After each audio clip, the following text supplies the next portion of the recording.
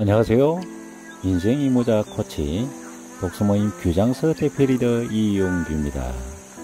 오늘은 배움을 돈으로 바꾸는 기술 습관 챌린지 그 13번째 무엇을 배울 것인가 대답은 자신 안에 있다를 주제로 세 가지 말씀을 드리도록 하겠습니다.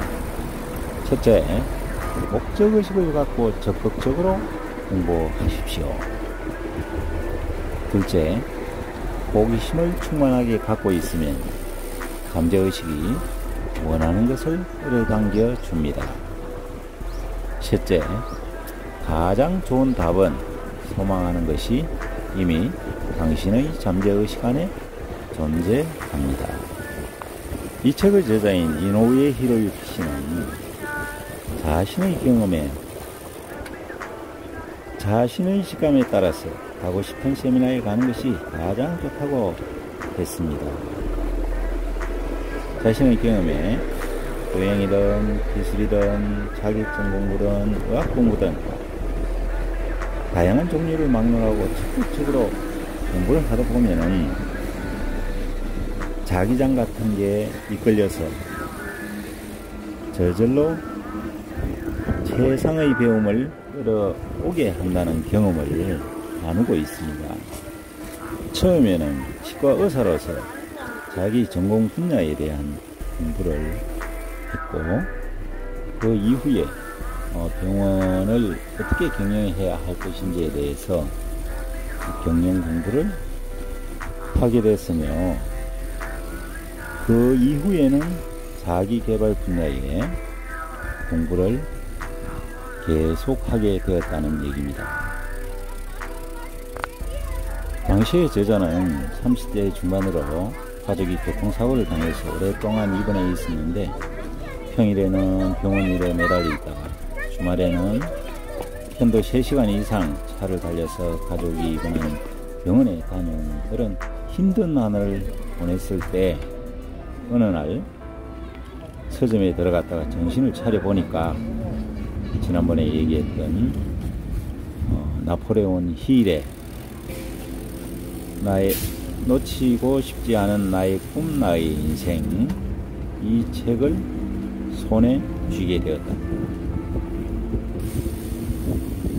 이 책에 나폴레온 힐의 세미나가 소개되어 있었고 그 순간 오랫동안 찾아 헤맸던 것이 바로 이것이라는 확신을 품게 되었답니다.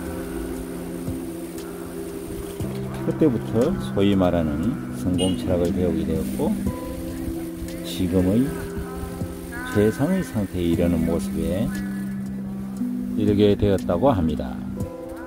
경험이 가르쳐 준 것처럼 그 대답은 이미 자신 안에 있습니다.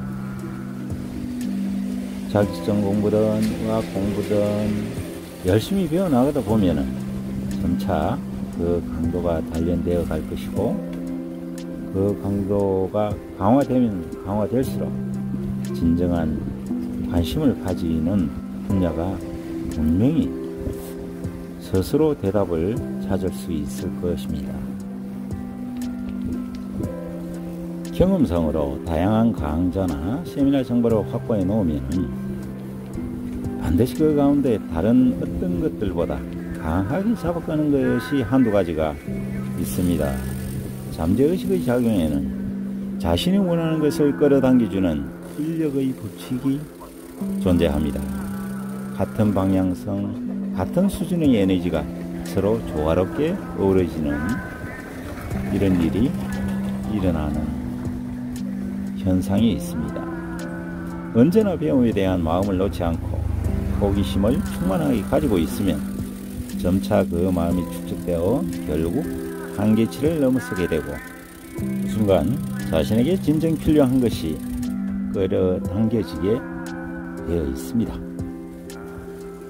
수많은 정보 가운데 어쩐지 마음이 이끌리는 책이나 강좌, 세미나가 있다면 그것이야말로 당신이 잠재적으로 바라고 있던 것, 또 바라던 것과 연결된 그 어떤 것임을 알아차리십시오. 가장 좋은 대답은 항상 자신 안에 있습니다. 최적의 답은 이미 당신의 잠재의식 안에 존재한다는 것을 깨달으시고 소망하는 것을 향해서 간절히 원하고 목적하는 바를 구체적으로 정해서 배워나가다 보면 반드시 이루어질 것입니다. 오늘 영상은 서울 노원구 부경춘선 철길 공원을 자전거로 달려봤습니다. 지금까지 시청해 주셔서 고맙습니다. 좋아요, 구독, 댓글은 좋은 영상을 촬영하는데 큰 도움이 됩니다. 감사합니다. 고맙습니다.